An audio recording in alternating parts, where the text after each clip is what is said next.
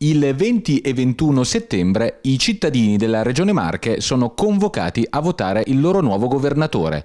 Le Marche sono infatti una delle sette regioni chiamate alle urne per eleggere il proprio consiglio regionale assieme a Campania, Liguria, Puglia, Toscana, Veneto e Valle d'Aosta.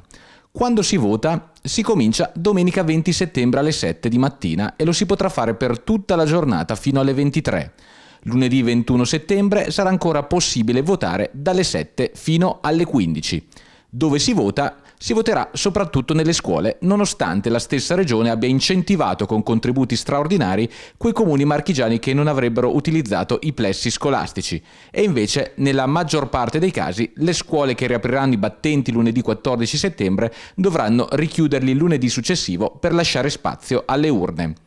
Come si vota? La scheda per le regionali sarà di colore arancione anziché del tradizionale colore verde. Questo perché sarà di colore verde la scheda elettorale per il referendum costituzionale sul taglio dei parlamentari per i quali si esprimerà un voto sì o no nella stessa due giorni di tornata elettorale. Per le elezioni regionali ogni votante esprimerà la sua preferenza per una delle liste provinciali tracciando un segno nel relativo rettangolo. Si potrà esprimere fino a due preferenze.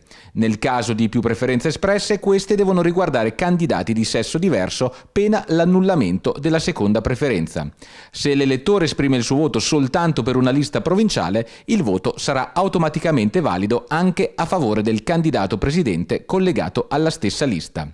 La preferenza al candidato consigliere potrà invece essere espressa indicando o solo il cognome del candidato oppure cognome e nome.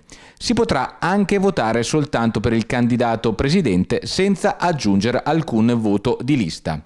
È invece vietato il voto disgiunto. Non saranno infatti validi i voti espressi a favore di una lista provinciale e a un candidato presidente non collegato alla lista stessa.